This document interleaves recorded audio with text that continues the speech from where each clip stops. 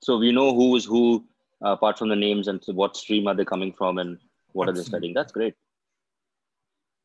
Great. So great to see and e-meet virtually all of you guys. Uh, let me just switch on my video here and then I'll talk to you guys for a bit and take some questions and then we can kick it off.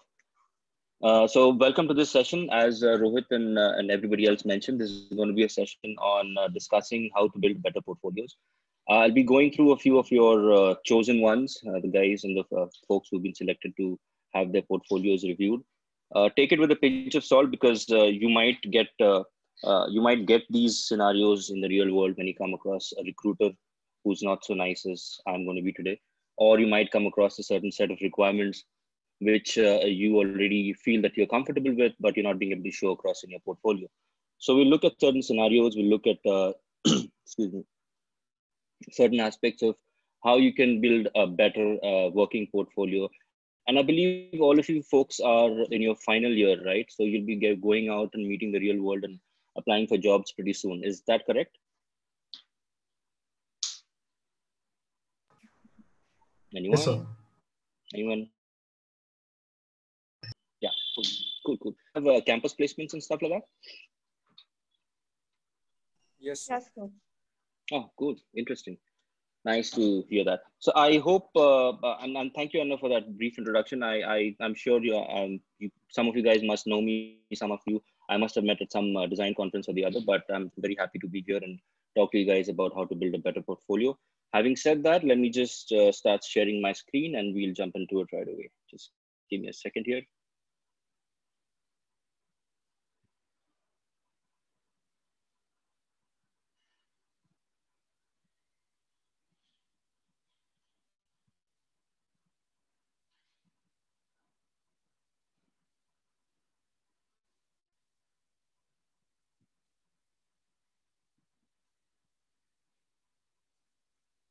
You guys are able to see my screen?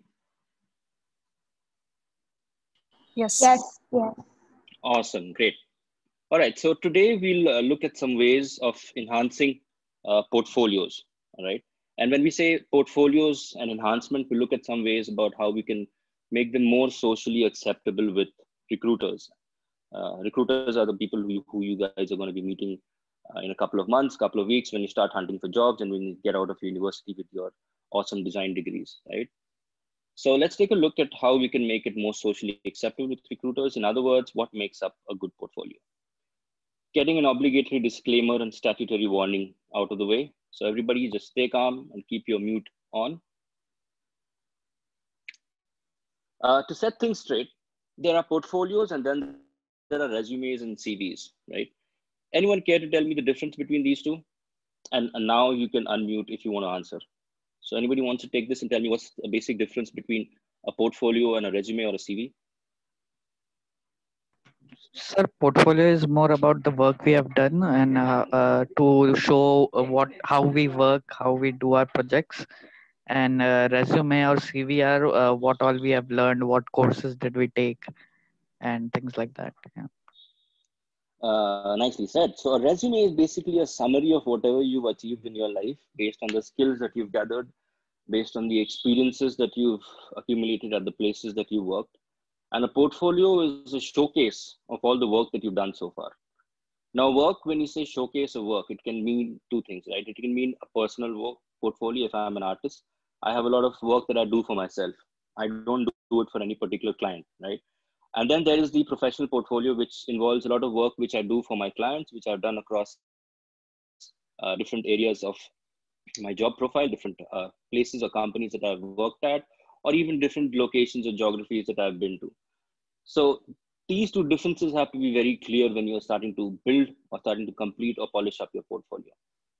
And when we say that, that there, there are two different types. There is the resume kind, there is the splashy eye candy design type portfolio, which is also good in a way.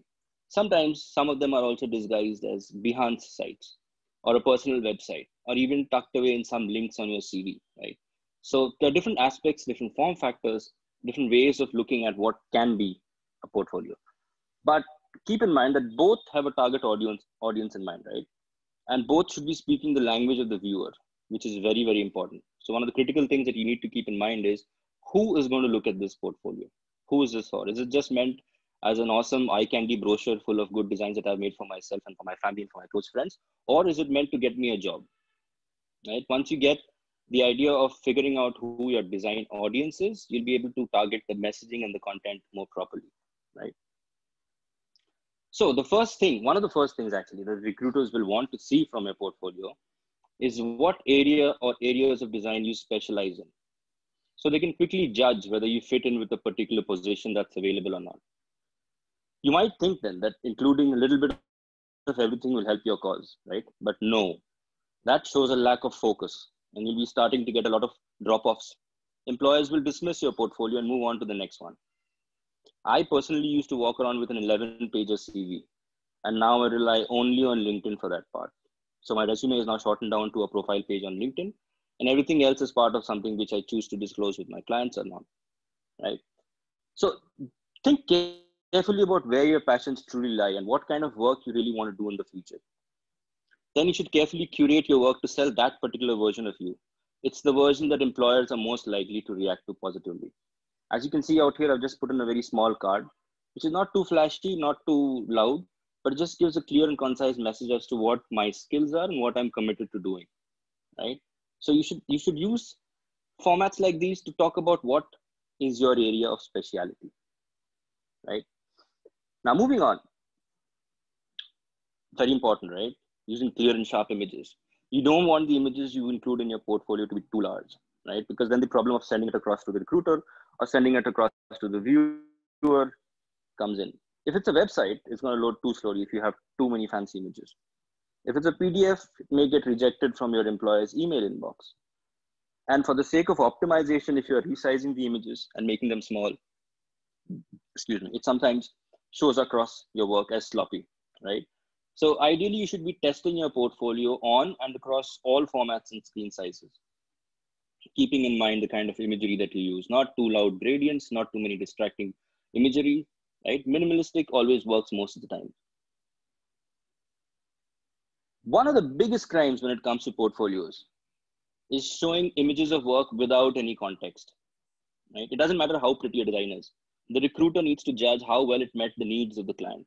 So make sure you include accompanying text which describes what the project brief was and how you went about fulfilling it. Ideally you should open your projects or case studies with a mission right? You should talk about the outcome right? About what was the problem statement and what the outcome was. That should summarize your entire process that you've done. And then put it in by the details the process work involved the artifacts that you use and stuff like that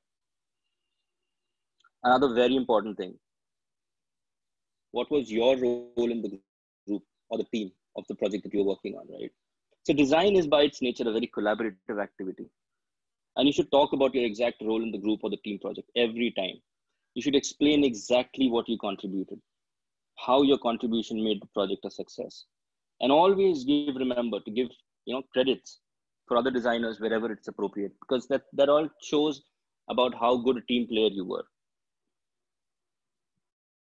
Mm-hmm. Now, if your portfolio remains untouched for months and months, like I mean, you haven't done any new work, employers may assume you're either too lazy to refresh it or that you haven't done any new work. So you need to find a way of updating it regularly. That can be a challenge if you're working under non-disclosure agreements. Of course, I mean, a lot of clients have these strict NDAs which guide a lot of rules saying that you're not supposed to talk about the project for a couple of weeks or months after it's finished and in the market and stuff like that. But there are always other strategies to keep your portfolio updated, such as including a side project or a blog. Pick up writing on Medium as a good way to talk about the way you you think about the processes involved in your design scenarios and stuff like that. And something very important again, it is sometimes very difficult to spot your own mistakes, right? So make sure you show your portfolio to as many friends and colleagues as possible to be absolutely 200% sure that you haven't let any slip ups through and this is something which is noticeable in a, in a lot of portfolios that I've come across in the last couple of weeks, months, and years. Online on Behance, online on Dribbble, even in PDFs, right? You have such beautiful designs coming up, but then you, I mean, you throw the ball out of the park by just one typo or one grammatical mistake, right? And that costs a lot. right? And lastly, making it easy for employers to get a quick impression of you in a short span of time by making the navigation simple, the number of projects manageable, and the amount of text that you have very short and very concise. And with that, I think we've come to an end of this, but for posterity's sake, I will go through each of these and I'll take any questions in case you guys have. So I'll now open it up for a few questions. Anybody has any questions for the stuff that we just spoke about? Yes. So in the beginning, you mentioned that uh, you need to decide what uh, what your aim is to build the port portfolio. So uh, are you mm -hmm. making it for yourself or are you making to get a job? So, yes, so you have to ask yourself the question: Are you doing it to impress other designers? Or yeah. are you doing this to impress the uh, HR or doing this to impress the project manager who's taking your interview? Yeah.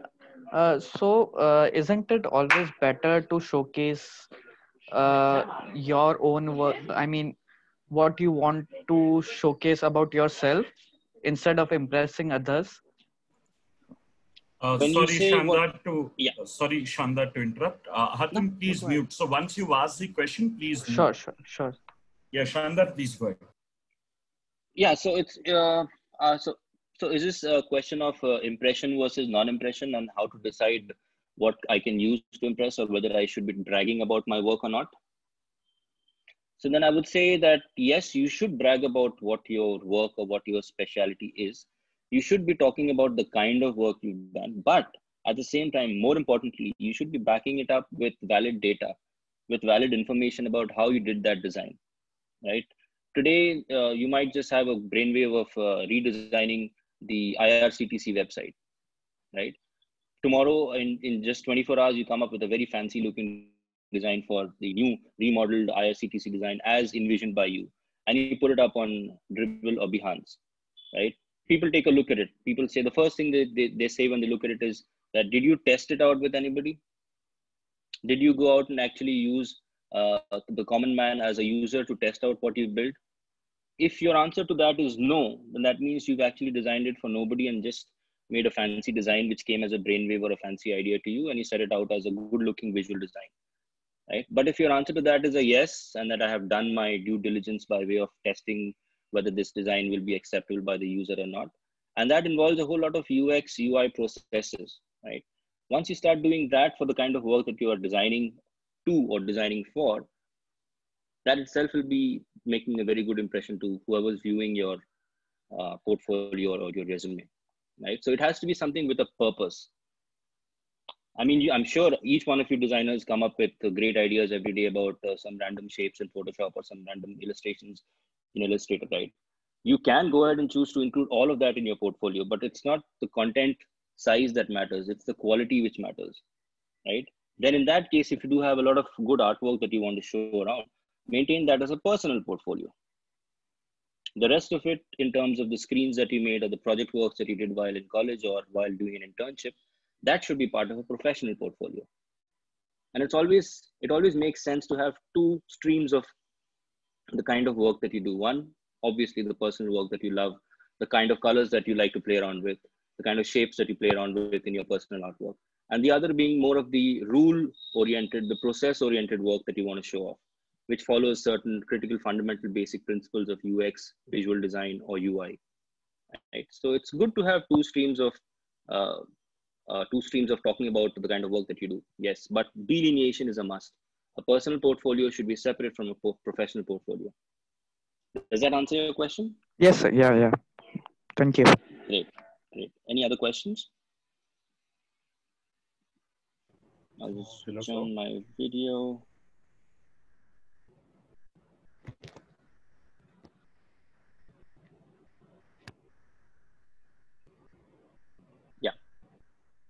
Any questions for me? Based on any of the points that we've been discussing so far. Uh, hi, sir. Hi. Uh, I'm Divya. So I have. Uh, hey, like, Divya, you're up for today, right? Yeah. Awesome.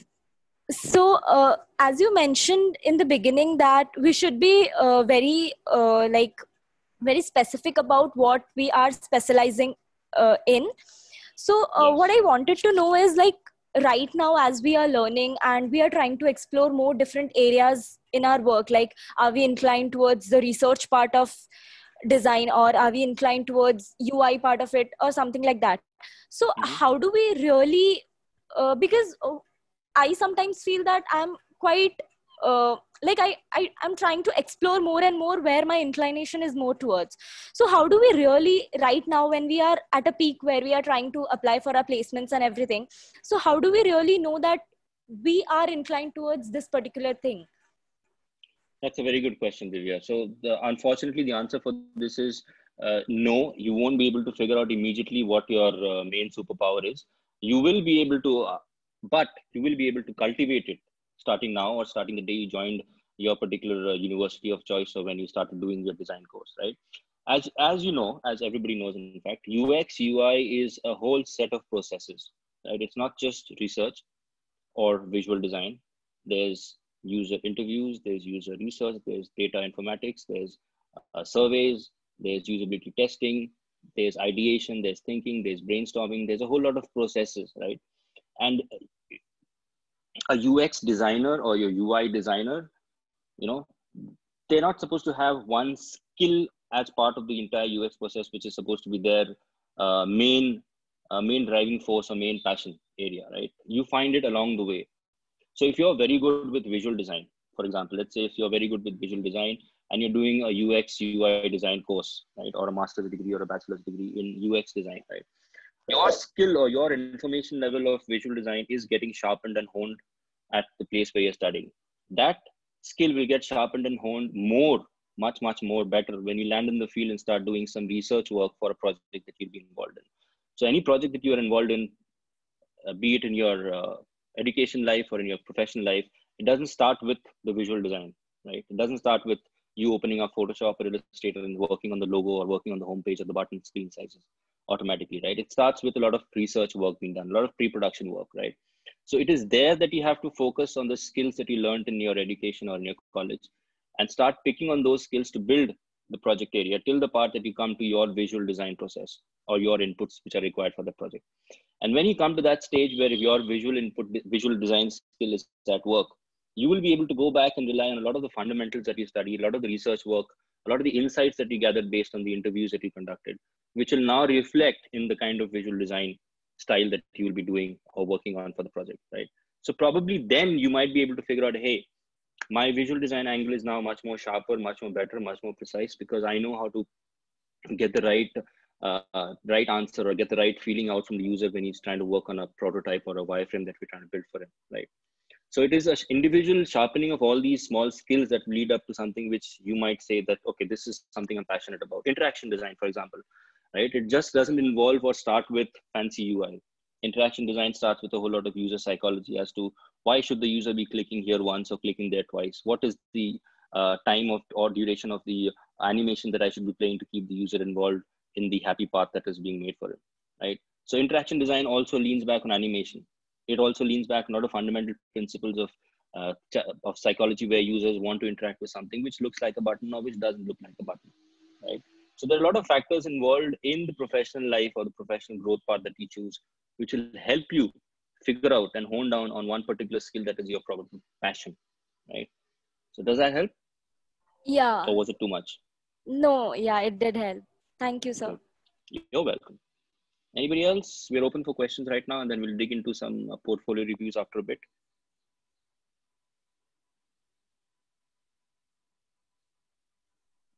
Hi, Shandar. Tanish here. Hey, who's this? Hello, go ahead. Continue. Yeah. Yeah. So, uh, hi, Shandar. I'm Tanish here. So, as Hi, you Tanish. said, hi.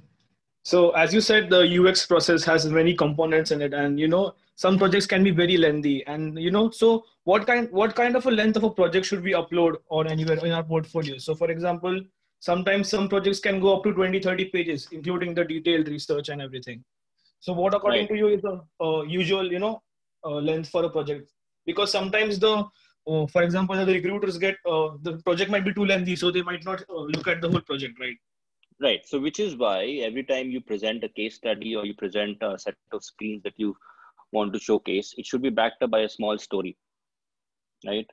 That okay. story should have inputs or that story story should have segments explaining about what you have done, what has your contribution been in that particular project, right? How you contributed towards making it better for the person who was using it. How many screens you contributed? That can be a number. That should not be. Uh, so, so let's say a project has uh, 250 screens and you've designed let's just 150 of them. So you're not expected to put up pictures of all 150, right? You just expected to put up a number saying 150 screens designed by me, and then talk about the important flows. Summarize it. Summarize the important um, uh, user scenarios that were there in, in, in the flow. So for example, you designed an onboarding screen for a banking client or an application, right? And you were part of the entire onboarding experience. So you can talk about how you conducted a research or a survey in the market to figure out how people are happy with their onboarding experience with the current banking apps or not, and how you made use of the insights that you gathered from there and how you put that into the visual design aspect or how you put that into the interaction design and made three or four important screens. So you talk about the flow of those important screens, how you got the idea of that, what you did with that idea, how you implemented it, how you tested it.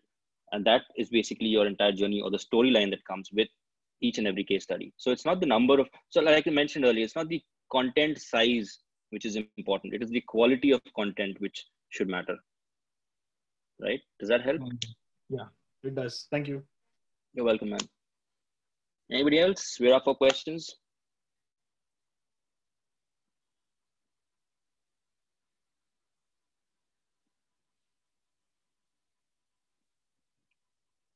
Nobody? Everybody's busy with evening coffee?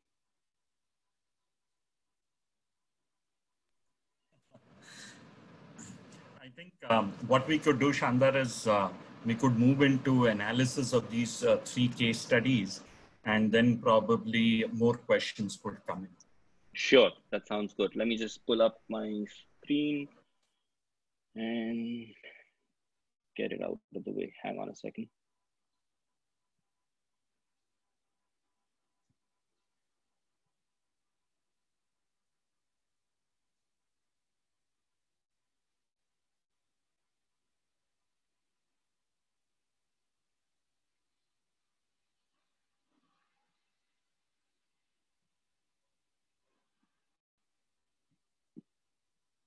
All right, so you guys are seeing my screen, right? Yeah. Yep. All right. So we have uh, we're going to be grilling three people today. All right.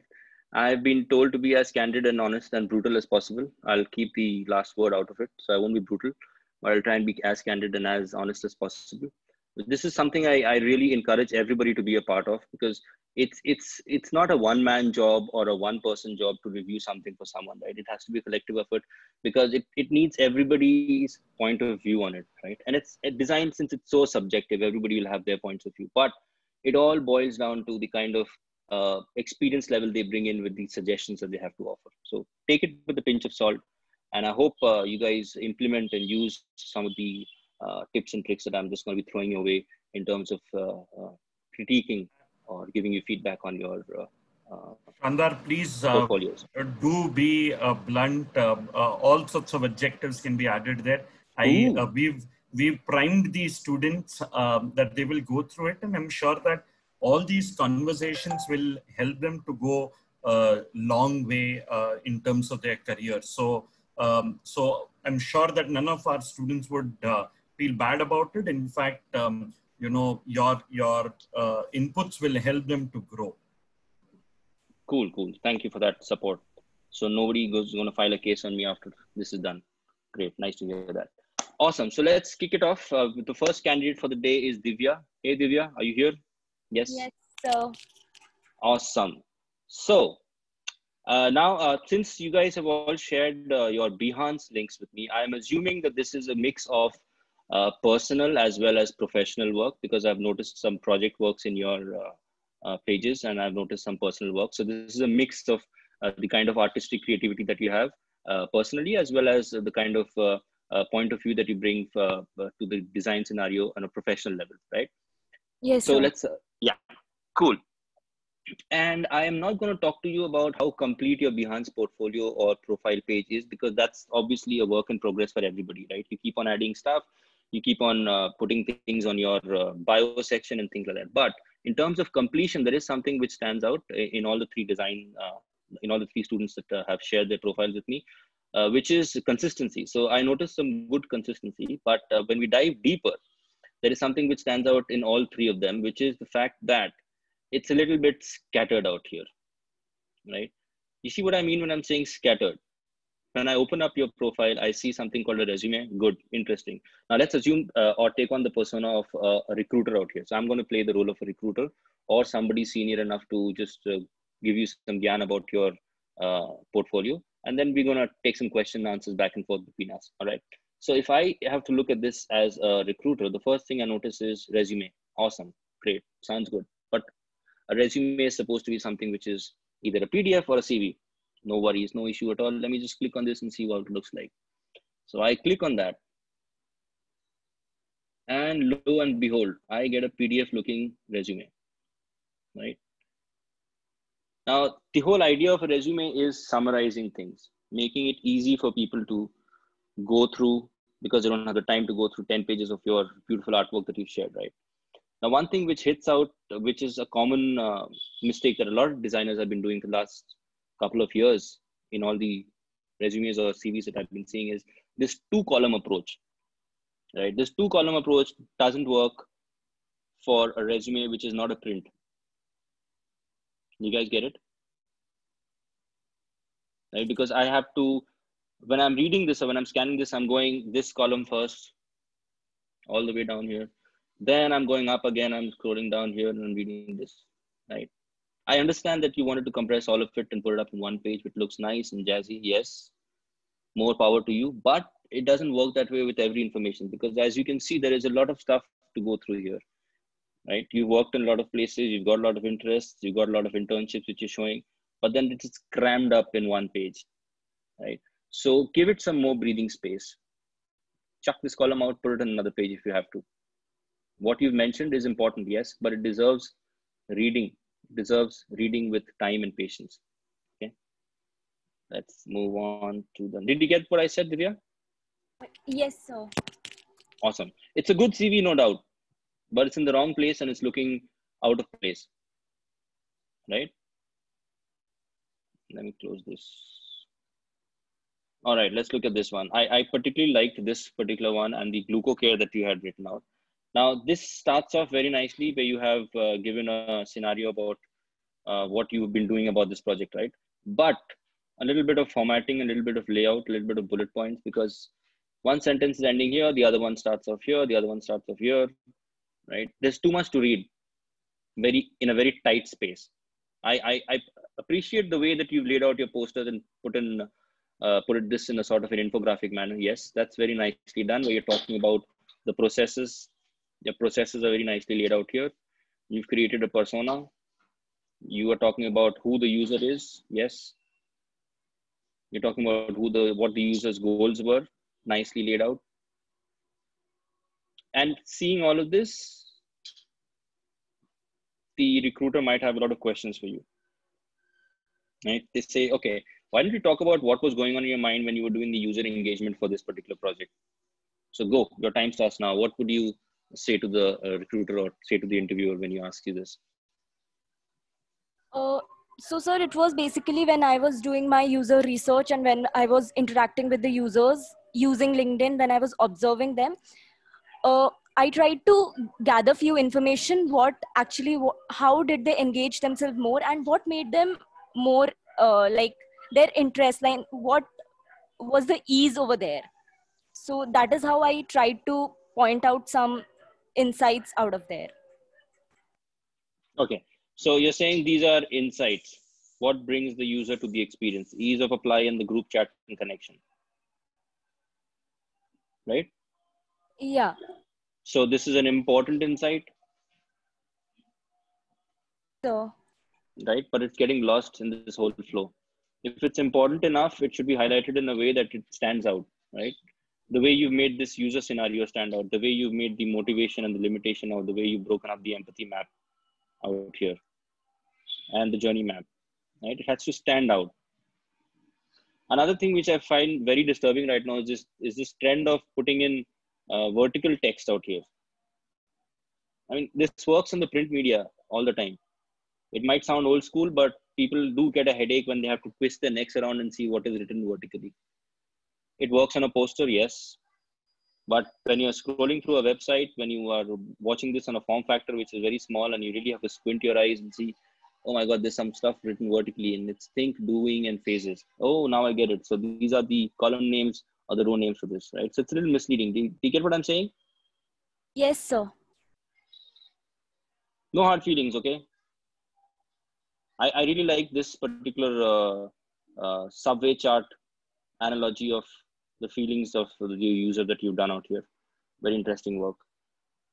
Let's move on to the next one. GlucoCare. Yes, this is a good, good project. Now here again, remember I mentioned something about uh, grammar and language. Yes, sir. Yes.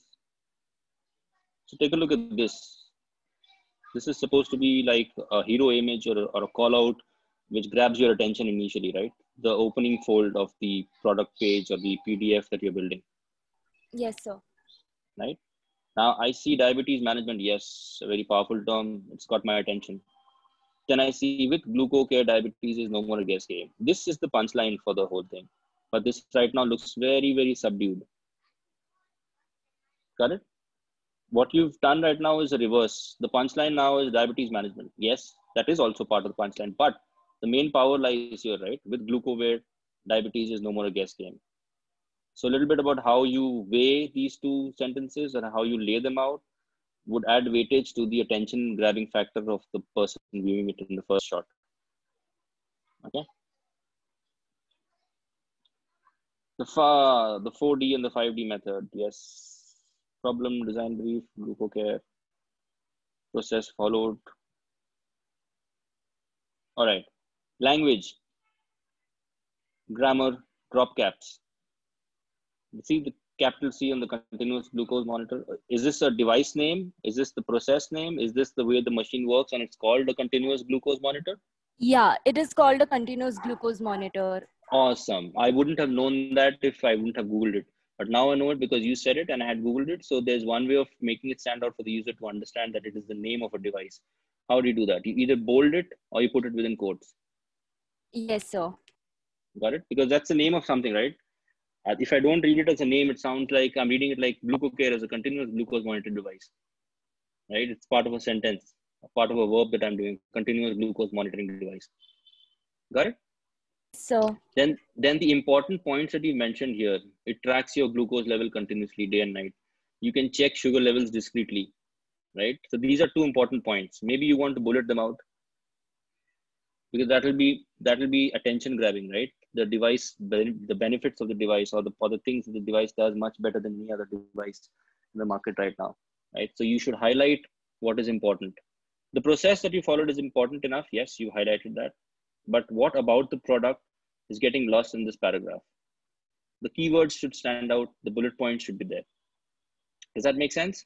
Yes, sir secondary research. Secondary research is very, very important. Uh, mind telling me why the lines are dropping off here and why not here? So there's a blank space out here. Are you planning to use it uh, with some imagery out there? Or is this just a layout? Actually, I tried to follow a layout. But your grid is broken. I can see that the grid is broken out here, right? You've, uh, okay. If you say so, but I still feel that there is a lot of white space out here that you could easily accomplish uh, by adding meat or adding some masala with the secondary research uh, process that we followed. Now, these are important insights that you got, right?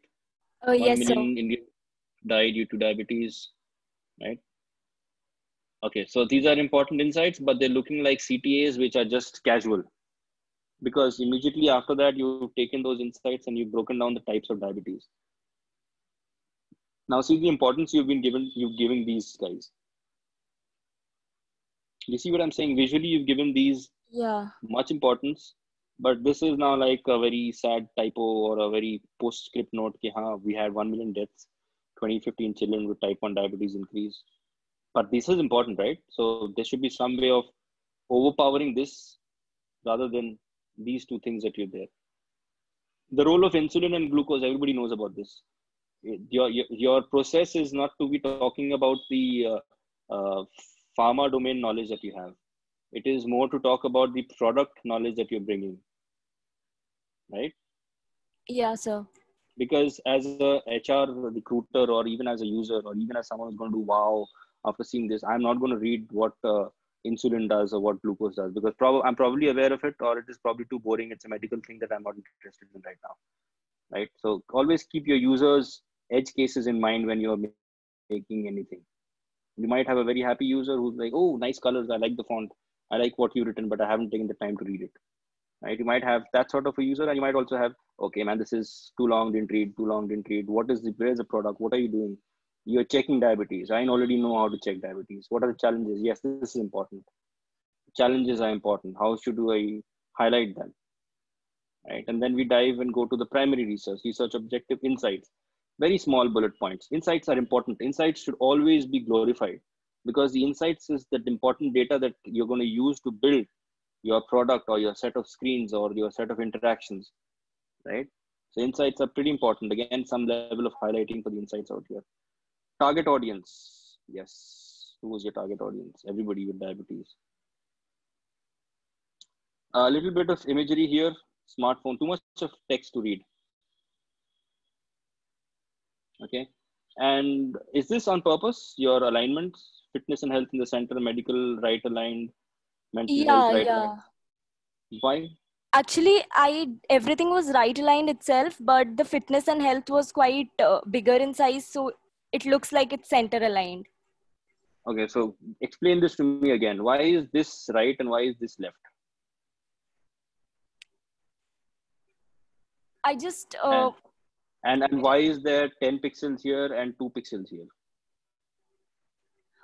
oh, that is because i uh, aligned it towards the center and then to the box and then it Hmm. aligned itself as the गड़बड़ हो गया ये तो गड़बड़ हो गया इतना alignment के चक्कर में गड़बड़ हो जाता है so the, so the thing is that if you're making uh, call out boxes like this right make one as the biggest size then you put in the text to accommodate the right size and you play around with the alignment and the padding to look at it from multiple perspectives. So you might have one box which is 10 by 10 which has three lines of text inside. The next box might also be 10 by 10 which has just two lines of text inside right? So visualize the way forward. In this case i think you did not visualize the way forward or you might have but you landed up saying okay eh, let's give it up for now. This looks good as it is. Did that happen with you? Actually i visualized i think yeah yeah so you got sloppy here. Yeah. Like Yeah. now when i'm seeing it again i can actually see it from that perspective. Exactly. So which means that you did not did you get this vetted by somebody else once you made it? You Uh, ask somebody to go through it? Yeah i showed it to one of my faculty. Okay. Did they point all this out? Uh, not really oops. They should. Maybe they didn't want to hurt your feelings but i'm not here to do that. I'm just here to tell you this is not a line this is a problem this is not good and stuff like that so that you can work on it and better it yourself right? And like i mentioned earlier please no offense to anybody's uh, designing sentiments out here. It's just the alignments the text and the overall look and feel that keeps bothering me that i might talk to you about all right? So take it with a pinch of salt use this constructively and go back and refine it and come back to me some anytime you guys want to discuss uh, the rework that you've been doing. All right. So let's move ahead. You've made personas. I have a very interesting question about personas. And I think it's open to everybody. If you guys want to answer it, anybody can jump in and answer. Are these personas real? Uh, actually, sir, I talked to people. So after talking to them, I tried to analyze it and then I framed it towards the major personas. Okay. So you spoke to 10 people and then you took one person as the base average example of that and you built the persona on that uh, criteria. Uh, not really, because uh, like personas are mostly like they are the hypothetical assumed sort of. blasphemy blasphemy you've just said something very sacrilegious personas are not supposed to be fictitious characters whoever gave you that idea deserves to be banned from the design community once upon a time, not long ago, at least 20 years ago, personas used to be fake people. But now there is no such thing as a fake user. You have your users out there in front of you, right next to you, right? You have a real person who you can go and talk to about the stuff that you're building. You have real people to base your survey on. You have real insights which you derive from real people that you talk to. So if you're talking to a group of 10 people and doing a user interview, take the average of two people from there right? Mix and match their common pointers or the common traits that they have. Take the last name and the first name of two different people, add them up. That is your persona. A real person derived from the crowd of 10 or 20 that you've been interviewing. Oh, yes. When you say a fake, when you say a fake persona, something very creepy comes into my mind. Usually, I'm not usually, I mean, the last number of personas that I've been seeing last couple of years, it's always been on an average uh, uh, a lady named Jill She's 42. She lives in the US. She has three cats and two children, and she's divorced. And she plays Candy Crush all day long on her phone. That's a typical persona that I've been noticing across a lot of domains, a lot of scenarios, a lot of use cases. That person is fake, right? You're not. You're never going to design for that lady. You might design for somebody who's more realistic, who's living right next to you, who's probably had that mental model of using the app that you're you are uh, making for or her, right? Does that help? Uh, yes, sir. But these were the people I talked to. Like I. Uh, uh, I ah, तो ये पहले बोलते तो मैं इतना ज्ञान नहीं देता ना these were No, the sir, actual I- people that you I spoke to. mentioned that earlier first, and then after that, wh- wh- Okay. once you asked. okay no worries so if these are actual people good because this is actual data right Yes, sir. so so one very important thing when you're doing anything in ux is keeping it real if you fake the persona if you fake the scenario if you fake the uh, user flow you're going to land up with a very skewed product right? Moving on let's go. The design brief. What? Now you come to the design brief? After all this lengthy beautifully laid out poster come in infographic come medical diagnostic report now i come to the part which tells me the design brief. Is this in the right place hello you still there? Uh, yes, so, But I, I don't. so typically the first question that people would ask you is seeing this or think any portfolio or or or, or uh, set of screens that you built is what was this about? Who did you build this for? Right? That is when you tell them okay the design brief was such and such the problem was such and such this is how we solved it and when you say this is how you solved it you go through your entire process and you explain the process that you've gone through for building it.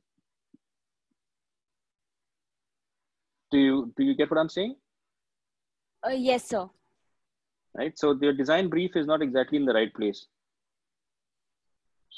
Maybe maybe uh, maybe what you should be doing is reshuffle the order of stuff that you put in. So you have a competitor study also. That's good but i need images when i'm talking about competitor studies. All i see is text. How do i know yours is a little different from what they already have? Because i need to because as, as a reviewer i would like to have an idea or a picturesque view of what is there in the market and what you are doing different. Get it? Yes, sir.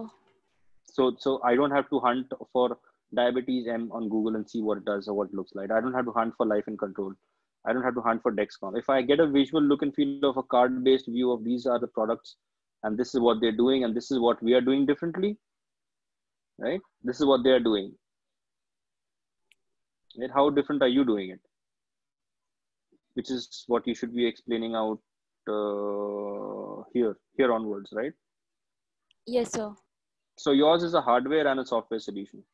Yeah.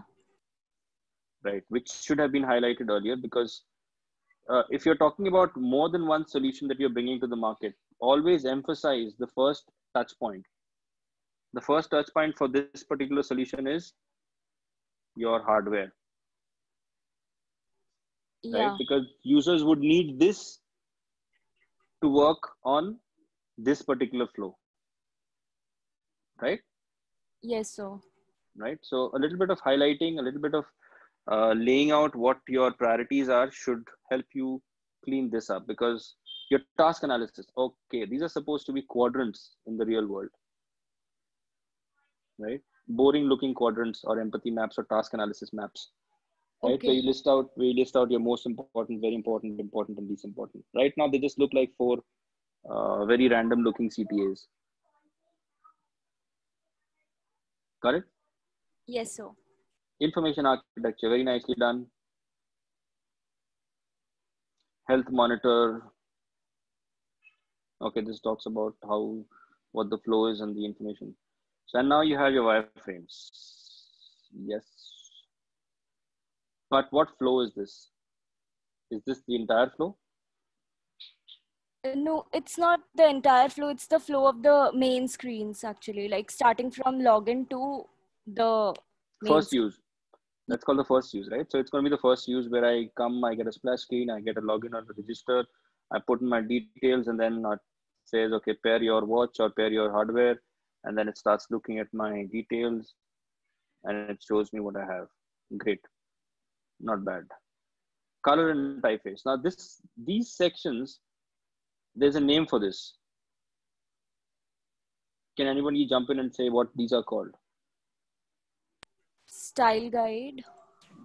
Correcto. This is a style guide or a guidebook or a brand guide for the stuff that you're going to be building. And this is very important because uh, this is going to be your single source of truth for your developer as well as for all the designers because they'll be looking at this particular document to see what are the colors and what are the variables you use so that they can convert this into dev code, right? So this is very critical, very important where you have to list out anything and everything that is required to build the product that you have envisioned, right? And this is the part which is important not only for yourself but also for the developers so that they can understand how how each thing is supposed to be looking like, right? For example, I mean it's typical in, in your real world scenario, you'll you'll come across this scenario every day when you send across a design to a developer. For example, this particular uh, logo unit, right? You send this across as a PNG. Developer gets it. Developer puts it out on your code. He makes the app for it. He uh, puts it on an app screen or a website screen. He sends it to you for review. You open it up in the browser and you see, oops, the color shade is two levels down. What happened? What happened in between, right? You gave him the right file. You gave him the right image. He took the image. All he did was optimize it, so the color shades went down, right? So it would not have happened if you would have given him uh, the exact hex, hex code or the RGB values for this particular uh, uh, logo unit, which he could have just coded in, which would have been the single source of truth, right? So these sort of scenarios will happen a lot, and you have to be careful about not losing your cool when it comes to designer developer handoff. So that's a very important scenario, right? And we have your final UI screens, ta-da, out here. By time, by date. I'm a little uncomfortable with the style of your by date and by time. Too much of small. You have one week, two weeks, month. Month is in caps. Colors are good. This is a typical pharma domain color uh, scheme that you've used. Why is your title hanging out here? Is this uh, by choice or is this by necessity? Uh, no, that is by choice itself. Like it states that this is by time. Oh, so would it break everybody's heart if you just put it in one line, Uh, no. right? Because glucose by time of day. It's more like a tappable statistical button. If this is a field header or if this is a field title for this card, then it should be in one line, ideally, unless the term glucose is a medical term which be changed by the developer and become glucose, eta, meta, whatever the term might be elongated. Right? You have to consolidate for that as well. Okay, so we've got food trackers, sleep trackers. I hate sleep trackers. Do they work? Has anybody tried out a sleep tracker yet? I have tried it, sir. Isn't it uncomfortable? You got to keep that thing on uh, your on your wrist all night. I I mean, I think in my phone, it's just I have to put the bedtime on and it rings the alarm every day in the morning and I get a notification at the sleeping time. No, no, no, not that, not that one, not the app-based one. So there are sleep trackers which are there on your on your wrist wearables, like the Fitbit has or the Apple Watch has. Right? There are wearable devices, and they're a pain. because you got to keep them on all night. Okay, so let's see what we've got here. We've got create account, set up your account. All right, and uh, one thing which I want to highlight here is you start with this screen, right? Home screen, uh, splash, yeah. splash screen, right? Your splash screen comes here and here and here. And then suddenly I have a screen which has no branding on it. Is this screen looks like a broken experience now because I don't see the term glucocare. I don't see the uh, fancy looking background gradients that were there. It suddenly disappeared. Right?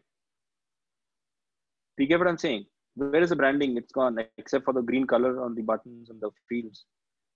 Yes, sir. Right?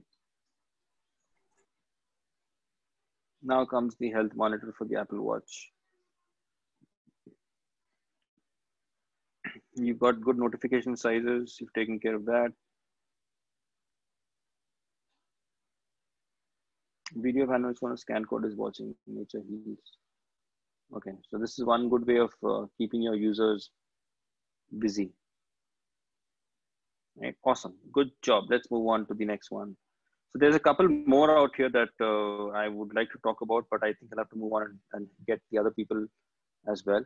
But I, I really like the way you've laid out your entire left column with uh, the stuff that you made. So this is the sense of completion that you have here. Everybody should ideally be, completing this entire left section of Behance that that uh, is there, right? And and uh, since you guys also have personal portfolios, I've noticed uh, some Dribbble links as well. But I'm not going to touch uh, the Dribbble uh, scenario today because that's a different story altogether.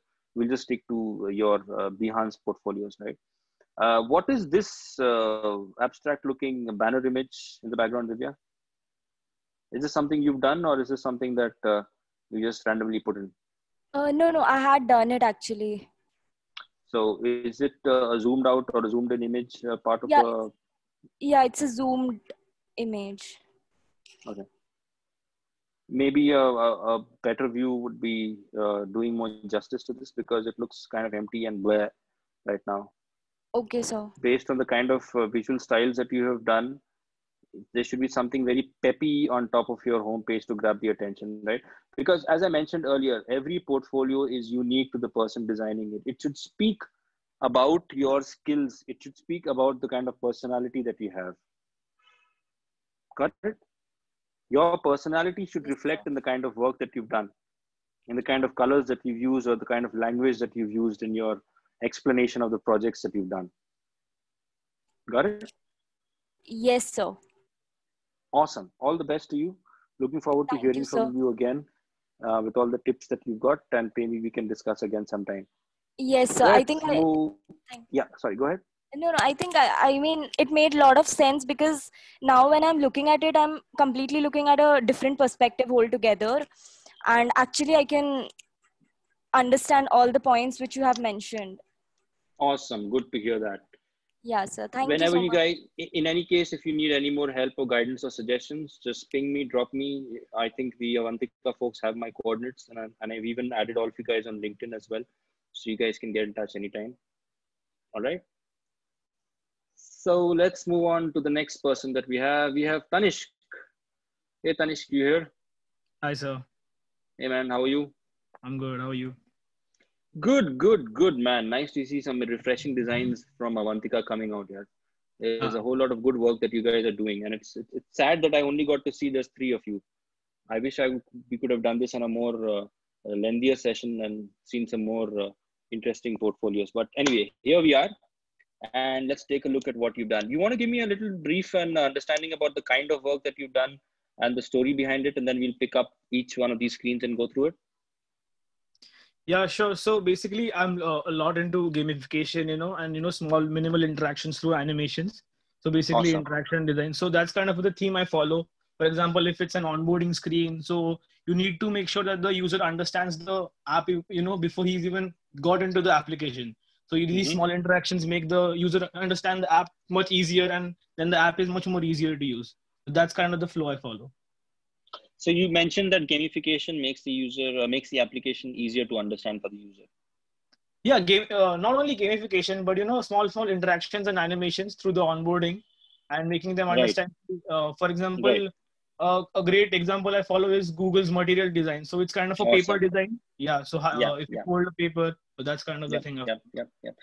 so the good thing about uh, interaction design is that it should delight the users right that's the term which is going around too much these days it yeah. should bring delight to the users gamification is one way in which you keep the user hooked yeah. onto every screen or every action, right? And why do we need gamification? It's human psychology, right? For anything that you do, you want some level of gratification or some level of satisfaction, right? People, if you appreciate somebody's good work or if you appreciate somebody's action, they feel better, they feel happy about it and try and do it much more better for you then. Right. So that thing yeah. in life, that whole psychological action or that game, gamification thing is now digitized where when a user is logging in, you try to keep him engaged as much as possible, right?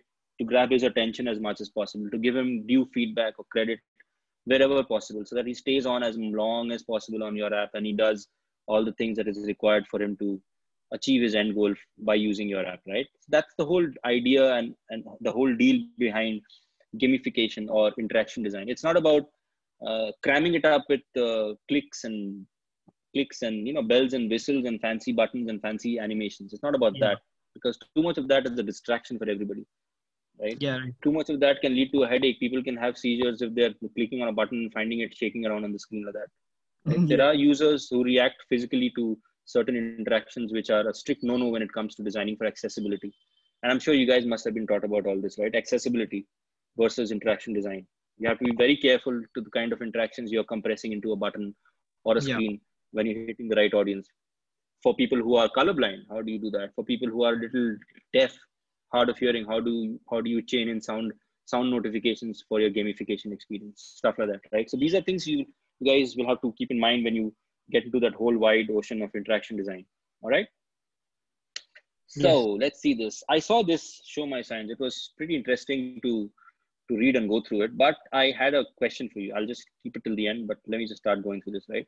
So it says show my sign, which is SMS, an application to connect the hearing impaired with the world. Brave concept, man. More power to you. yeah, it was actually done as a group project. And then Very I redesigned good. the UI and the UX of the application. Here again, good use of fonts, good use of space, but break it down into sentences. This is one tight paragraph. There are about 18 million Indians suffering from hearing impairment. Finish. That's one sentence. The next sentence is what is the cause of the impact hearing impa- impairment prevents two or more people from interacting and understanding each other right and that's a highlight which is part of your summary so make it stand out okay right what is your aim to create an application which will help to bridge the gap between the hearing impaired and the world. In what way might i ask?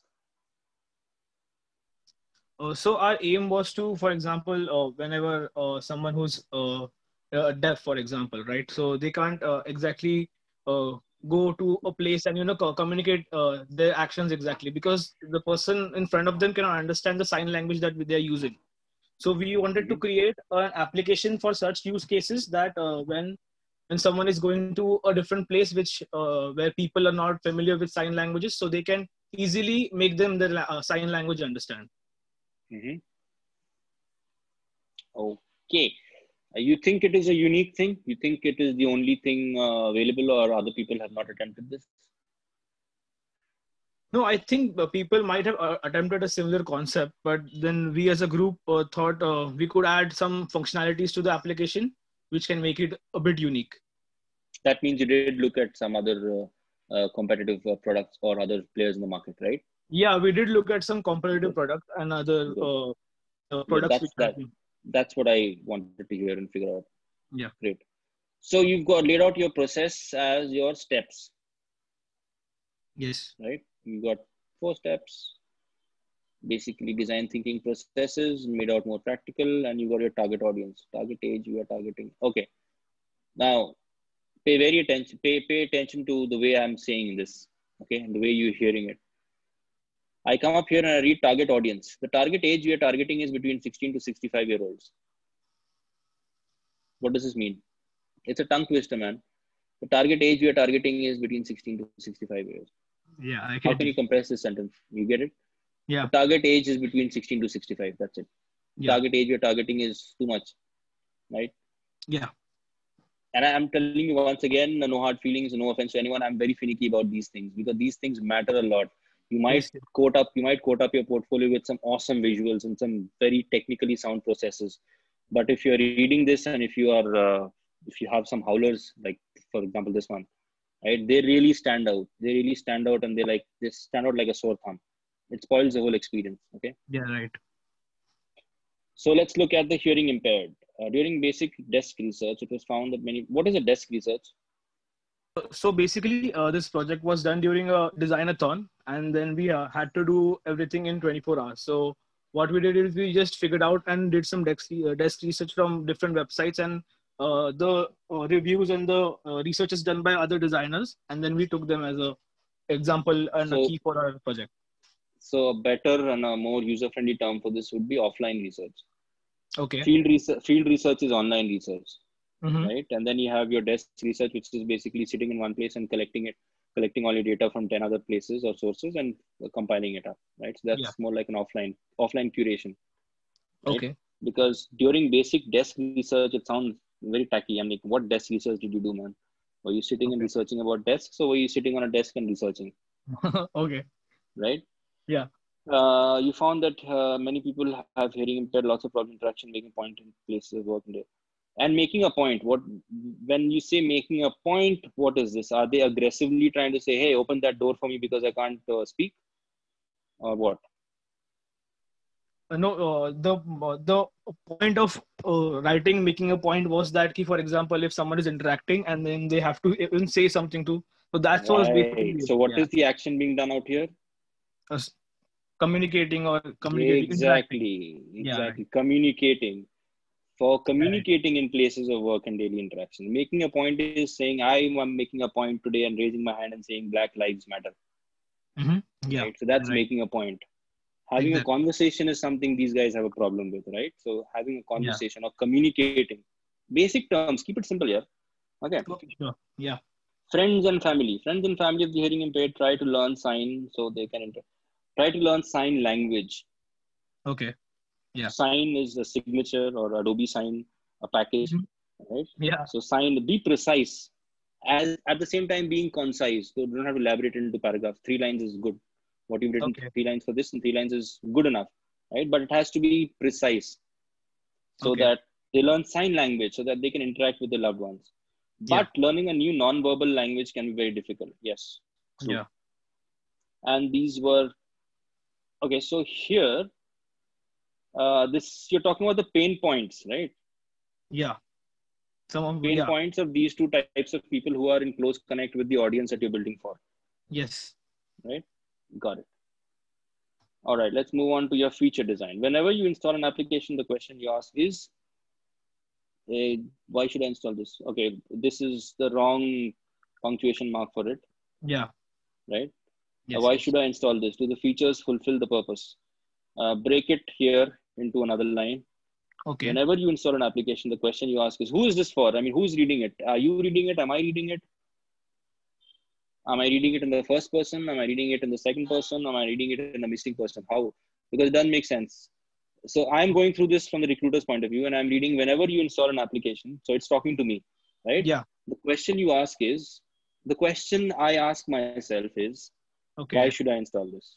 Yeah. No, no, it's not okay. It's, it's, it's what i'm thinking inside right? Mm-hmm. so you have to rephrase it. Yeah sure. the question people ask is when when you install an application the most common question that people ask is why should i be installing this? Okay. Right? Yeah right. So it gives you that personal touch as well as bringing in a lot of people into this. Because mm-hmm. everybody asks the same question. Why do i need to install this man? Right exactly so a little bit of rework on your uh, on your uh, sentences will add weightage to this it'll make users think hey that's a good question why should i install this right yeah right then we go on to feature one, which is a real-time sign translator. Concept application AI engine, which will scan the movement of the hearing impaired person signing and translate his signs to text in just a matter of seconds. Nice. Text to the sign. Conversion is an interaction. Conversation is an interaction which is in person. Okay, you got a howler here. Seamless. Okay. Yeah. Seamless and conversations. Where is the? Oh, sorry, ready. Where is the full stop? You left it hanging. Yeah. Right. See, really nice illustrations, man. But suddenly I come across this, I'm like, oh damn. yes, for sure. Right. I need to correct it. Yeah. Really nice illustrations. Really nice way you've laid it out and spread it out. Learn sign language. Although the way you underlined this is a little irritating because it looks it, it, it points out to the itchiness factor is this right is this wrong? But i mm-hmm. guess this is a new design trend that's happening right? Mm, yeah. Yeah. No power to that. Yeah. All right. So learn sign language. I think we're done with this. What is next for you in this? Yeah storytelling. When will an app be used when will it be you have too many questions in your title here it's good to have questions, but the way you're asking them is a little abrupt because here you say, you see this, whenever you are doing something, the question is coming up. Got it? Mm-hmm. And here what you've done is directly, when will an app be used? When will it be required? And then you say a scenario explains when the app will fulfill its purpose. Okay. Yeah. So um, yeah, reword it a little bit. Mm-hmm. Right. Yes. Put in put in a little bit of uh, so, so here's a trick when it comes to writing anything. Yeah. Think of that sentence in your mother language first. Okay. That's right? interesting idea, yes. Yes. Think of it in your mother language first and yeah. then see whether you're making a mistake or whether you're articulating too much for it. If you're articulating too much, you're missing the point because okay. you have to keep it simple. Your mother language is the most simplest way to understand uh, anything, right? Okay. And that's yeah. the first thing you understand more more uh, uh, more effectively. Right? Yes, right. So the exactly. question that you ask or the scenario that you build, think of it in your own mother language or mother tongue first. Okay. Then you convert it into the professional or the business uh, language that is being used. In this case, it is English. Yeah. And when you convert it, when you translate it, you might find that it looks or sounds silly or it sounds yeah, funny. That mm-hmm. is when you do the whole grammatical approach. Okay. Sure. Okay. Thank you. Thank you. That's actually a very good tip. Yep. Hmm. Here is a use case of replying to a stranger without any hassle. Without any hassle of what? Without any hassle of him moving away and saying, "Hey, don't waste my time," or what? No, I think it was it was just because uh, I think uh, the I think I wanted to portray that uh, whenever someone hearing impaired is sitting and uh, someone approaches him and talks to him, so he can act, uh, exactly reply, right? I cannot understand what you're saying. So that's what I was. Without any problems. A hassle is a very tough word to use out here, a very uh, heavy word. Hassle would imply that this guy is going and harassing him and saying, hey, answer me this, answer me this, answer me this, right? Okay. Uh, a more appropriate uh, tone of language would be uh, without any problems. Here is yeah. a use case of replying to a stranger without any hiccups or communication hassles, communication problems. Okay. Right? Yeah. Right. Got it? So language does matter a lot here. Yeah, it does. Yeah, right let me use that app to reply, he won't understand my sign. So you're you're saying that this fellow knows sign language, or you're assuming that this fellow doesn't know sign language? Uh, uh, I'm saying that he's the hearing impaired one, and the person who is asking him. So in the previous illustration, uh, the person is asking him a question, and then in the next, I've written that he's talking to himself, that he won't understand my sign language. So I'll just use the application and analyze my own signs. Okay the aim of the application is to be as simple as that. I surely hope and pray so. So my money is on this if you're going to get it funded. Right. now we come to the uh, typography and the style guide and the design system point of view. Okay. Application. Let's onboard you. Let's onboard you where?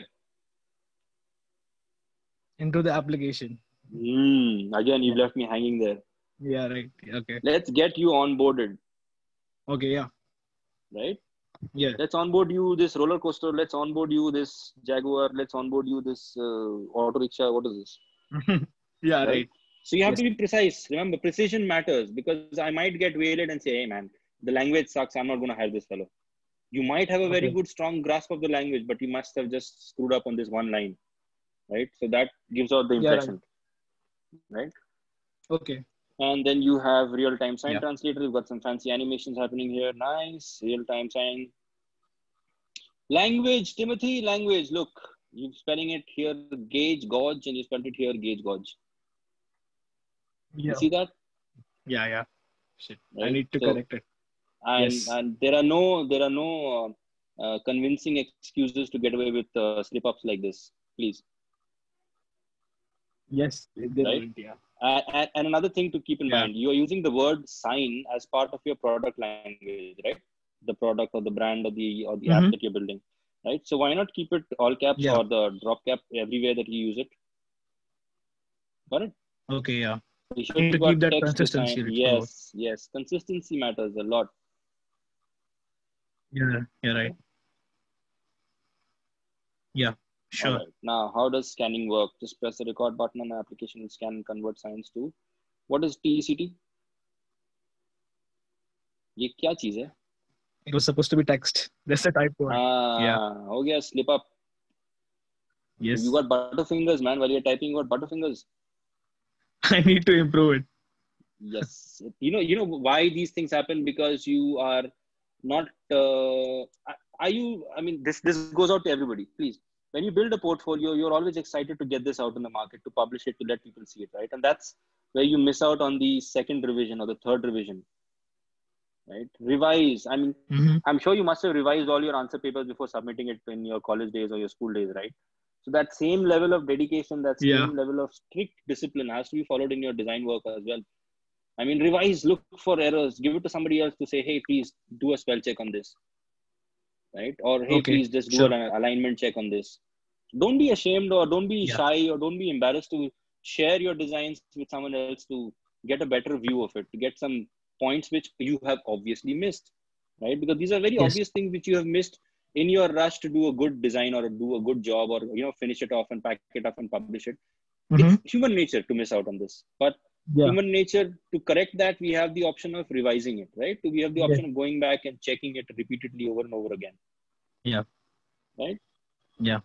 I'll be on it. And then you yep i hope so. And then you come to the application flow where you say let's begin. Show my signs let's get started. Onboarding text to sign language see language brother language spelling yes right sign to text, text to sign, learn to sign. Okay. Okay, not bad. And you got a good collage here. Show my signs. Then again, here again. So you yes. copy pasted that card everywhere with the same thing, and I'm surprised as to how you missed it out. But yeah, I'm, I'm also surprised how I missed it out. Yep. Well, now don't be surprised anymore. Too many surprises for you. Yes. okay. Hope you like the project. Share your feedback below the link to video full product. This is not the way to give a link. I should have embedded it. Yes. Of course, because this is yeah. not even clickable right now, man. Yeah, right. I do you expect me to copy it and then paste it in the browser? No. Mm-hmm. Yeah. Nah. Correct. Yeah. Overall, good job. Needs a little bit of tending Needs a little bit of uh, defining. Yeah. Okay. Let's see your resume now. फिर से वही two column see now what's happening is I'll have to read this column first, then I have to scroll up again, then I have to come down to this column second.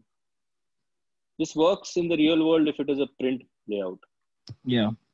Then you can ha- let your eyes scan and roam wherever you want to. Mm-hmm. But if you do it on a screen, which is con- taxing and consuming for the eyeball and for yeah. the eyes and for the brain, it becomes a little too much, man. My scanning thing is going crazy. It's going up and down, up and down, up and down. Yeah, right. Plus, there's another thing which is causing a headache right now. And mm-hmm. You've got three different font sizes. You've got one font size for this, one for this, and one for this. Mm-hmm. Right? Yeah. So either stick to two or just one, not more than two. Okay. Font sizes. Remember, yeah. okay? Yes Persona building, ये कोई skill होता है क्या? I thought bodybuilding was a skill. what is persona building? How do you get to that? I think what I need, I'm trying to say by persona building is that I'm good at, you know, going out there on the field and understanding what are the main pain points of the users and building ah. personas through which. No. So the first sentence that you said has more weight than the last sentence that you just said. Okay. First sentence he said is, "I go, I have fun going out in the field, talking to people, and rea- uh, researching things, interviewing the users." Right. Yeah, right. So that's part of your user research, which you've already mentioned. Why are you breaking Yeah. it up into small modules again? okay. Right. Sure. Persona building hata do. This is already part of your user research. Okay. What is research design? Uh, so what we uh, we had a module uh, in our college through which we learned key how to design a proper research key. What are the steps to be taken? What are the different you know what are the different techniques through which you can design a uh, design your research and then start conducting it. Ooh. High funda. All right. The reason why I picked out your skills is because a lot of people put in as many skills as possible, right? But they Yeah. don't realize that some of their skills are part of a bigger skill out here, Yeah, right. right? So, for example, your persona building, there's no point mentioning it separately. It's it's part of your user research, which you can talk about in more uh, in a much more glorified way. Yeah, right. Got it? Mhm. Wireframing and prototyping prototyping is the same activity. Okay. UI design is separate. Okay, usability testing is separate. Game design is separate. Business research क्या होता है? Uh, so uh, one of the courses that we did in our college was business context research. So it it helped us to understand key whenever you are, uh, for example, redesigning for a business, right? So first, how do you understand what are their what their brand is supposed to be, what is going to follow, what is the Okay. main aim of the So business? so so so the thing that you should mention out here is these are business research methodologies that you have as a skill. Okay. Even research design methodologies that are part of your skill set, right? So when you explain it, say that the whole aspect is business research methodologies that I specialize in, Okay. Right? It's part of a bigger package that you have, right? Yes. Don't just throw it off with saying I do business research Mhm. because it has a lot of value inside the way you've explained it, right? Yeah. Right. Yes. Then we have UI design and iconography. Isn't iconography part of uh, user interface design? Actually, it is kind of yeah. Right. Unless there is a special degree for iconography in a separate course. Yeah. Yeah. Right. Right. Yeah. Illustration. Illustration. What kind of illustration? Pen and paper illustration, watercolor illustration, crayons, sketch pen, marker. What kind of illustration? Yeah. So uh, what Digital? I mean yeah, digital illustrations. I think I need to better term. that. Yeah. That's a better better term. Yes. So 3D modeling. okay. And game design. Game design is very huge. What uh, what are your uh, uh, skill sets in game design? So in game design, uh, basically we had a course when we did a when we did physical and uh, you know digital games both. So Yeah. we learned key, uh, for example, in digital uh, design in, uh, in games, we learned key, wha- how to uh, design a level, how to inst- how to have uh, small small difficulties which can make the user uh, make the game a bit difficult so that the uh, user is engaged to the game. So that's the kind Yeah. of things we learned in Right. digital design. Right. So that's game design and development. And there's another Yeah. very interesting term for it. It's called game theory and design. Yeah. Yeah. Right. You mentioned online games and offline games, right? So that's Yeah. part of game theory. Okay. Right. Yeah. Tools Adobe XD, Illustrator, Photoshop, Figma, Sketch, InVision, Design, Maya, Unity. Very good. And then I noticed exam preparation and food bots. So you see how confusing it is becoming for me? Yeah. Right. For everybody with two columns, yeah, please get over it. So should we have so, a like a different hmm. resume for uh, like a digital resume and a physical resume? So the physical resume course, can be submitted of course, yeah. Of course yeah. of course. Okay. Of course. Right. sure. So let's move on. Is there anything in this which you want me to talk about? Because i've seen a whole uh, lot of uh, stuff. Everything you, interesting if, but if, you, you refresh it right? If you refresh the thing right? I've uploaded a new project yesterday. So i think uh, it will be great if you yeah, go through it. Right? Literally like I did it yesterday um, only. Shandar. yes. Shandar, sorry, in the interest of time, can we move to Avantika's uh, portfolio? Because oh, yes, after, after her sorry, reviewing. The time. Yeah, it's only. Yeah, after yeah. her reviewing, we'll also have question and answer. Okay, no worries, no worries. Sorry, uh, Tanish, we'll have to skip you for now and uh, get on to the next one. I did not realize it's already yeah, 7.20. Sure. All right. Okay. So Thank you for the feedback. Have... hey, you're welcome, man. You're welcome. Next, we have Avantika. Hey, Avantika. Hi, sir. How are you? I'm doing good. How are you? I'm good for now. Okay. So, I so doubt did I'm they name the did they name the university after you, or did you name yourself after the university?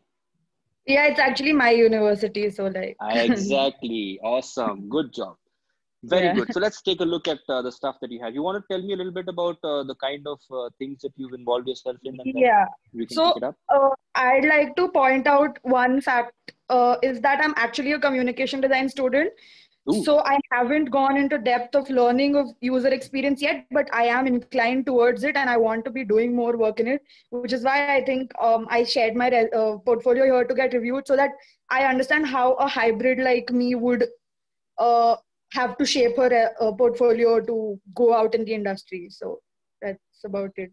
Awesome. That's good. That's great. Let's let's take a look at some of the work that you've done, right? And I think red has to be your favorite color because there's flashes of red all throughout, right? I think it's something okay. that has happened very uh, subconsciously. it just mm-hmm. happened. all right.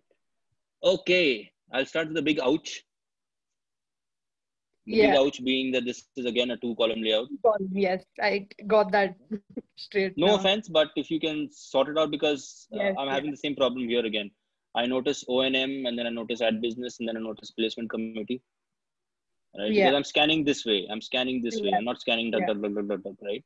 So this is something which is very basic, very fundamental. You guys right. should be taking this. Right. right. Yeah. Because when I'm reading this as a two column thing, another very important thing that's happening is I am missing out on, the important uh, things that you might have probably wanted to highlight. So here, when I did a scroll up and down, I missed out something which I just saw again and realized that it is important. What was that? Your achievements, the ones you've yeah. written down here, right? Yeah, yeah, yeah. So it got lost in the scroll. A, because it is right at the end, I think that it might not be that important. B, because it is situated at the end of two columns and it has a smaller font size.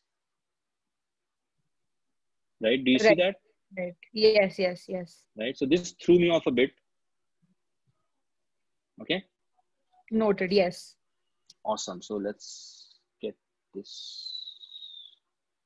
इसको बंद करते हैं and let's do the Prabodhan Blood Bank. All right.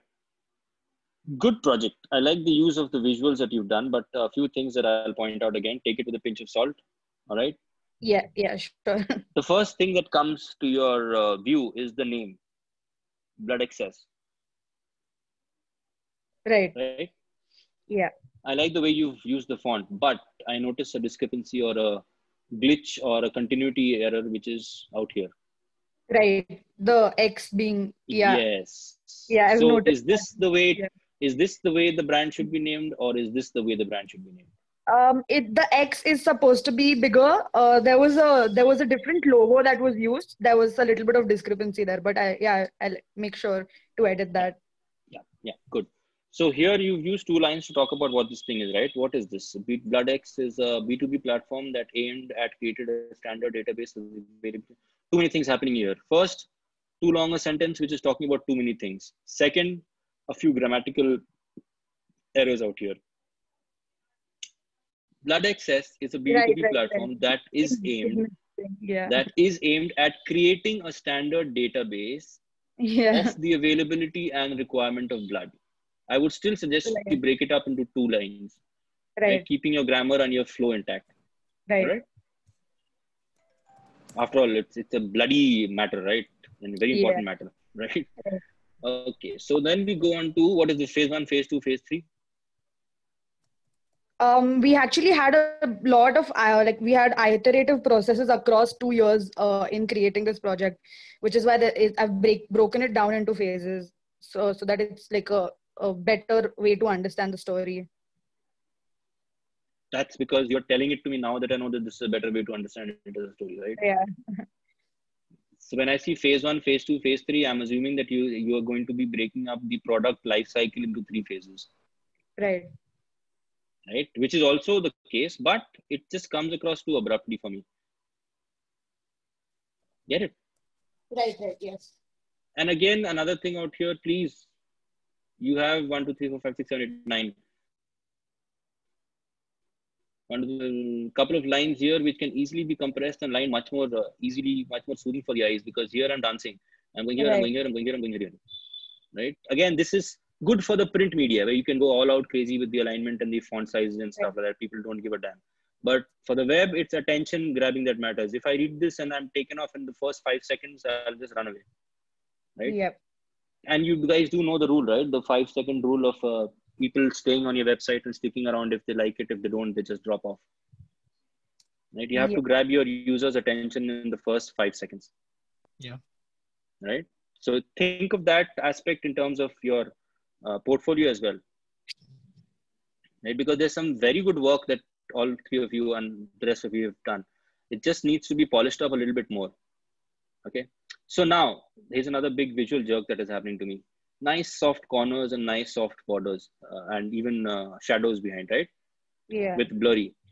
Suddenly I get mm-hmm. a three dimensional raised button.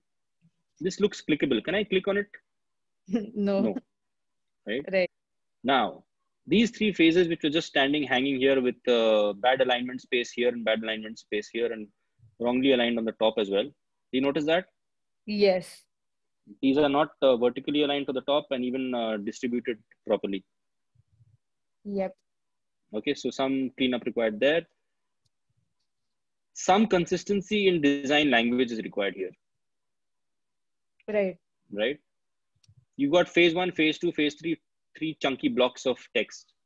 Then suddenly phase one becomes so beautiful, the origin, first belief, and desk research. Right? Right. I have no doubt about the kind of quality of research work that you guys have done. It's good. Right. But I'm only a little concerned about the way you're presenting it.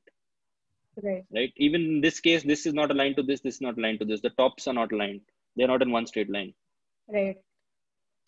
I think right? uh, in, terms of this project, I uh, revised it right now a couple of like a couple of hours or days ago uh, for this review. So I think there's a lot of vetting that is missing here, which I hmm. will be doing now post this awesome. as well. Great, great. I'm looking forward to the revised version of this. Yes, sir. All right. Then we move on to the research phase where you have put it up like. So this is the research insights that you got, yeah? this right yeah these are the insights these are the important insights that we took forward in the project this looks like an infographic tell me something this uh, red blood corpuscles corpuscles, spelling errors okay corpuscles is not the way this is spelled yeah. so you got three bullet points which is part of this yes that's under that that makes sense mm-hmm. they, they look like two separate units Right. So there is a lot of data here, which is important data, which is important insights, but it's it's like just thrown there for me to figure out which hmm. is important and which one should I prioritize reading. You get what I'm saying? Yeah, it's jumbled up. Yes. Okay. Solution. Blood excess. Okay. Solution either hai or solution features either hai. Man, you'll give me an eye ache. Why B2B again? Layout. A little bit of is this the logo yeah. that you've made for this? Yeah wow why didn't i see this here? Because it wasn't here that should no, be there. I, I only put here, the right? word mark of it. Yeah i didn't put the logo no. mark oh, so now you're confusing the user again. So is the product based on this or is the product suddenly materializes evolves and becomes this? Consistency yes right. yes. Because this is a reveal that you're making later on to me which should have been revealed here itself yes. unless you are teasing the user and saying hey there's much more good stuff lined up right at the end of this long document right, right? Yeah. but that is not the case i hope no okay good so let's move on हाँ कहाँ थे हम लोग solution हो गया interface interface gap here clean up when you're cutting your images look at this you got your right ये कौन सा फोन है भाई साहब इतना खींचा हुआ कौन सा हैंडसेट है ये I think it got I don't know how that's happened. I think that's an error because that's not yes, it is. It, the aspect ratio has been stretched beyond comparison. Right. I like your screens, but I'm not too happy with the way they have landed up out here being distorted because it's all gone for a toss. Your alignments, your layout. Yeah. And and and coming to the fact that you were a finalist for Design for India 2018. Right? This should be more aggressively highlighted. Right. Right. And I think I was also part of the session when this happened. Design Awards 2018. I had a session that day at uh, the NASSCOM event as well. Right. I might have met most most of you guys, but anyway. Phase two. Phase two. Yes, again, text, please. Please reevaluate the number of lines or the, the yeah. content that you're putting in. Okay. Just for the sake of design and alignment and justification, this doesn't do it justice right. at all. Right? Yes, I understand everybody's a design student out here, but it doesn't mean that everything has to be designed designed. Sometimes the most minimal of effort on a design on a design or like this would go a long way to you know being easy for people to understand, being easy for people to read. All right. Yep. Revised interface. Now, to be very honest and frank, the size of the interface, the screenshot that you use, when I first saw it, it looked like the Vodafone ka billing screen. right. Because of the red teardrop logo shape and the red, red, red. Right. Right. Now the whole branding exercise has become Vodafone. Right. Right. So what do you need to do on this part? You need to blow up the screens a little bit more. You need to add a little bit more of a visual element to your screens. Right. Because right. they look like wireframes to me right now. Right. Right. And then phase three. Phase three, phase three, phase three. Again, system. The text. Yes, it was a standard system that was translated into a application, into an application. Okay and then you come down to your final interface. On the which... call must be having a ball of a time right now because I'm not really known for making grammatical errors, but I have no idea how that happened here. Then you should have given me a fair warning. I wouldn't have been so harsh on you. Yeah. no. It's okay. Everybody makes these things. The first, time. looking that's forward. okay. I'm, yeah, yeah. No worries. See, I really like your concept and the flow of the screens, but the way you presented it is a little jarring for me because right now, again, I see some very nice looking phone holders with nice looking screens, but I am unable to see what's happening inside the screen. Right. Do you get what I'm saying? It's too small for comfort right now. Right. Right. Why do I have to click in and zoom in and click in and zoom in? Sorry. Why shouldn't it just be accessible to me like a set of cards which is opening up one after the other? Like the way you've laid these out. Get it? Right. right. Future scope, business plan, Okay, and these were your partners in crime? Yes. awesome. Good job. Good job in terms of the visual aspect of the product that you built, but a little sloppy, I would say, on the uh, the way you laid it out. and I think once you fine tune it, it'll it'll go on a different level altogether, right? So, all the best yeah. to you. More power to you. All yeah. right. And let's yeah. look at one more thing before we open up for questions. Which one do we take? Let's look at Flippingo. This reminds me of Angry Birds on a mutated level. Uh, that was kind of the client brief as well. Because this was a, yeah, yeah. a, out in the market. That's why it was. Yeah, yeah, yeah, yeah. Again, I know this is probably a visual design style or a trend you guys are following, but uh, this is your uh, viewport size, viewport area for your uh, screen, right? The first fold. Yeah. And then I scroll down and boom, very small font. Yeah. And then again, sentence per sentence, sentence per sentence. Either break it up into bullet points or some level right. of visual layout for the text as well. Right. Again, grammar, a virtual world could be about civic issues or seeing the art around. Uh, seeing the art around is, um, I don't understand. Is it appreciating art around you or is it appreciating art that you see around yourself? What is it? Around yourself uh, when you're ah. in travel or right. So a little more contextual please. Right right. Right. Hyperlocal augmented reality social network. Social and network in caps. The s right. and n logo. Incredibles ka logo hai yeah? You've seen the movie incredibles? Yeah i have. I have never Wait, noticed just twist you twist this around a little bit, distortion, it becomes incredible. But good job on this. Your arcs are way above your grid lines, but I guess that's on purpose. Cappy Garu, nice characters. Final characters. Okay.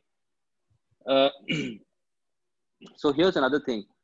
A lot of fancy animations have been used by people in their uh, things, right? Now, this works if you are redirecting your user to a Behance website to see it online. But if you want to pack this up and send it as a PDF, mm-hmm. it's going to be very heavy. It will be very, very okay. heavy, right? So always keep in mind that you might have to edit, you might have to customize, you might have to summarize, you might have to tone down uh, the visuals, the language, the animation in your uh, resume, biodata, portfolio for a different audience, right? Right. Right. So always keep in mind two versions of something of your portfolio. One, the light version, which you can share it with people and then ask them to redirect to a particular website, in this case, Behance, where they can see the enhanced version full of the interactions and the animations, which are right. pretty intensive, right? You've used the same phone frame again here. I think that was a different phone. oh, no, I don't think so. This is that this okay. is that irritating side 2.5D curved glass phone. Yeah. Yeah. It's so wrong and against usability. Mm-hmm. Okay, so you made it like a mini yeah. Pokemon Go. Yeah, I think majority of the UX end of it was done by the company, and I I only worked on the UI for this. Right. So for the UI, uh, one point of view, one thing which is very important, font sizes. Right. The username font size here and this font size, it's not consistent. Right. Right.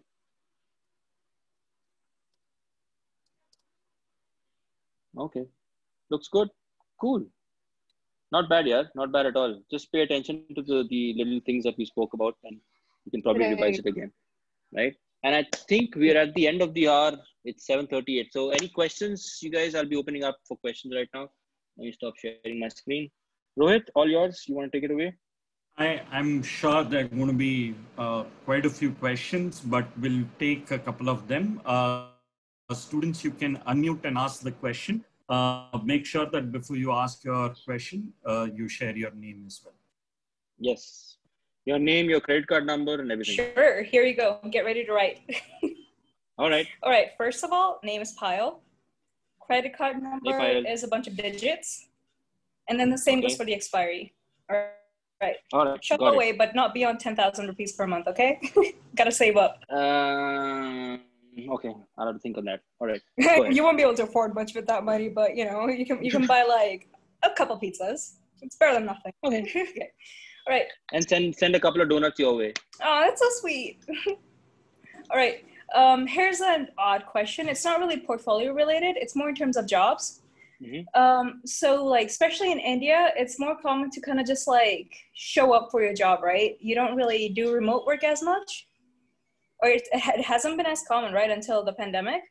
Mm, but well, um, this this year has totally shifted people's perspectives about how they work and what is expected out of their job roles and profiles, right? This yeah, year has become like totally topsy turvy right everybody uh, is on work mm-hmm. from home and people have realized that working from home is a trend that's not going to go away and um, do you personally know many companies or even in your own that would do that whether it's just a company or just a small design firm or something for um, people that are not as able-bodied to even be you know forget coming to work but like they can't even sit up at times. And like this is not really something more uh, most companies think about here at the moment. So it's hard to even like bring mm. this up to hrs no this is this is i think i think uh, uh, you haven't been talking to the right set of people out here. Because mm-hmm. this this this is a very sensitive topic and has been uh, taken into consideration by a lot of companies. I'll give you a few names for that for that matter. Uh, there's these companies that i visit and i talk to design teams out there and i talk to designers and do a lot of trainings and workshop sessions and i have seen the proper accessibility set up for uh, people who are not able bodied who can come into work or who don't want to come into work right so companies mm-hmm. like Adobe, companies like Google, companies okay. like uh, Capgemini, Cognizant, Accenture, Deloitte, they they do take into consideration a lot of these aspects uh, for, from the professional point of view, because they have realized that not everybody is able to you know, land up for work. Mm-hmm. Right? I might be more comfortable not walking to work or not going to work by just you know, lounging around and doing work from home, even if I'm not 100% fit, or even if I am 100% fit but right. that shouldn't affect the way I work or the, that shouldn't affect the way my infrastructure has been set up for me to showcase my professional capabilities. And companies are helping people out a lot in this uh, Uh, so, so just because this year happened, which was crazy for everybody, right? Uh, a lot of companies, uh, where I work, Adobe, Adobe has been very nice and very kind for for each one of its employees. They have given us a work from home fund, mm-hmm. a couple of hundred dollars, where we spend that money on buying accessories for ourselves for our work related issues or setting up a work desk or setting up a work practice much more better at our homes right the companies are uh, taking care of their employees this particular way and a lot of other initiatives being taken by google like i mentioned mm-hmm. google has two days uh, two days in a month off for uh, people with disabilities oh. I'm not too sure what kind of uh, the disability method is required for this but there's two days a week off if you have certain disabilities which affect your work. You can choose to work from home uh, for as long as the project demands us or as for long as your physical uh, condition demands. So people are opening up to all of that. Uh, there is awareness, awareness that is happening. It might be a little slow because uh, we never had the opportunity to address all of these issues earlier. But uh, given the scenario that everybody is facing this year and hopefully next year it might get sorted out, but uh, this is going to be around for a long time where people are not going to be actually on the job job but doing it from wherever they can at their comfort uh, uh, levels or places of work. Right. And uh, in your professional opinion what's the right time to even disclose that? When you're submitting a job application or when they're willing to give you an interview? When you are giving an interview. Okay okay. Got it and because that's when you are talking Mm-hmm. That's when you are talking to the person who's giving you the job. Uh, when you're putting in a job application, it's a blind thing, right? Yeah. You're yeah. sending it out to anybody. All right. Yeah. Thank you. You're welcome. Yeah. Others? Questions? Yeah. So, hello, sir. Uh, Mayuresh this side. Uh, I'm a product designer. A hey, Mayuresh. Uh, so, I had a question like uh, in our projects as well, uh, we have a certain UX research work which we do for uh, designing any product. So is it a good thing to include it in our portfolio as well? Of course. Of course. Anything, any work which you have been part of, which has an impact, right? Which has had an impact on the user, which has had an impact on the domain, you should be mentioning it. You should talk about it right? You should explain about what was going through in your mind when you were thinking about the process or when you were trying to solve that problem right? It's it's the openness that you bring to the table that should matter not just a few bullet lines which you can explain by just reading it out right? You should talk about the kind of work that you've done about the hardships you faced about the problems you faced about the successes that happened. Yeah. And uh, like in uh, it's like can you just highlight in what detail should we uh, mention the ux research work which we have done?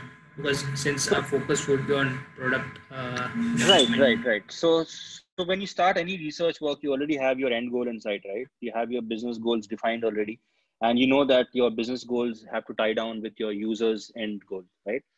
So so you should mention uh, the, the the the impact that you made with the research, the insights that you gather, the important ones, right?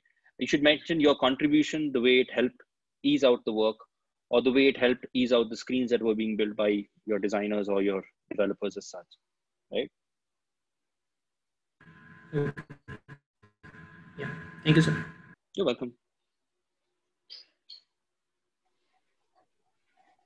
Hello, no, I, I just found out the chat window out here. Okay, we've got people chatting. Yes, somebody said hello. Hello. Hello, sir. I'm Kriti Sinha. I'm pursuing Masters in Communication Design. So I, hey, Kriti. I would like to ask that uh, since uh, Masters is a, just a two years course and we don't have so much projects to put over there in our portfolio, there uh, the work is very precise. So will it be a issue for us people to, you know, regarding the project? No. No, I don't think it will be an issue as long as you have content that you can lean back on and talk about. So you can always mention stuff that you haven't added in your uh, set of screens or portfolios that you can say that, hey, I was also involved in something like this, which is not part of the storytelling that I'm doing right now. But this is how I contributed. This is the impact that it made and stuff like that. Right? Okay, and I have one more question. Um, since uh, yeah, sure. I have uh, did my I had did my uh, graduation as an engineer, so will it be relevant mm-hmm. to uh, portray some of my skills from that field in my resume? Of course, of course your your resume so so here you mentioned the term resume right? Resume is a collection of everything that you've done in terms of bullet points in terms of paragraphs of text in terms of the skills that you've acquired along the way right? So that you should be mentioning it with with a whole lot of zest and a whole lot of uh, you know enthusiasm. Okay. Okay. Thank you so much. You're welcome. Who's next